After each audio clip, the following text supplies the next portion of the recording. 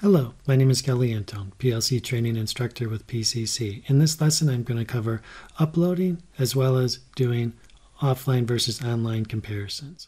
For uploading from the PLC when I don't have the program, I like to create a new project. So I will give it a name upload and then select create.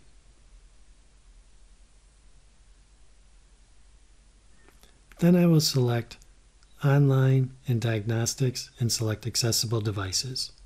Here I will select my PGPC interface for PN slash IE and I will start my search to find the PLC. Once the PLC is found, I will select Show. I will select No to save the default settings for the PGPC interface. In the project tree under Online Access, the PLC will show up. I will expand out the program blocks so you can see all the different program blocks that are included in this particular PLC program. To do the upload, I will select the online menu and pick Upload Devices, New Station, Hardware, and Software. This will read in the complete hardware configuration as well as the PLC program into the project named Upload. All the comments and documentation will be uploaded with the PLC as well. So in the project tree, I will expand out the PLC and I will expand out the program blocks and you can see all of the blocks are named. You will also see that the, from a PLC tag perspective, if I open up the default tag table, I get all of the tag names as well. You can always add in new tag tables to organize your tags. When you do the upload, all of the tags are brought into the default tag table. Next, I will open up the main program and I will start monitoring. When everything shows up in green, that means that your offline program and online program is the same and there are no errors. I'm going to collapse all of the networks, and I will go down to Network 7 and make a small change. I will select the Light 9 tag, and then I will change the Light 9 tag to Light 8.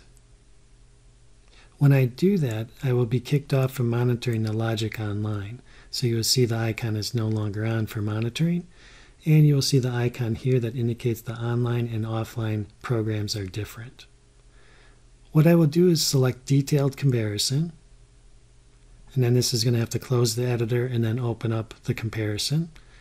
So on the left hand side I will have the offline view, on the right hand side I will have the online view. I will collapse my workspace and adjust the size of my two views. I will collapse all of the networks so that I can quickly see where the differences are. So network 7 indicates that there's a difference. You have various commands on the toolbar to jump to the previous or next difference. So here, light 8 is different versus light 9.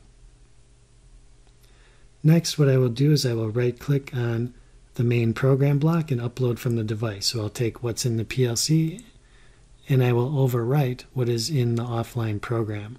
This way the online and offline will be the same. So I'll select overwrite and pick upload from device. I will select OK. Now you will see my program status has changed now to all green, indicating that everything is identical. So I collapse all of the networks, and you can see now I have Light 9 back again. I will collapse Network 7 and enter in a new title slash comment for Network 8 just so that there's something different. Now you can see that the online offline programs are different again. So what I will do is go up to my PLC now and do a comparison. So I'm going to right click and I'm going to select compare and I'm going to pick offline versus online comparison. This will give me a high level comparison of what's offline versus what's online. Then I can select an icon that says show only the differences now I can see that OB1 is the only block that has a difference.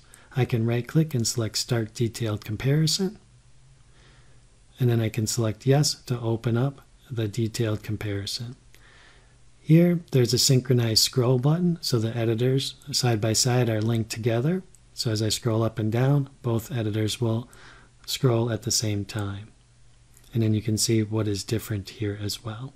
I can collapse all the networks, and I can also get a quick overview of what is different.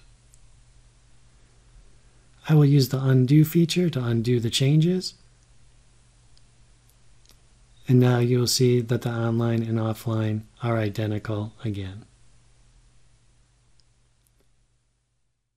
And this concludes the lesson on uploading and offline and online comparisons.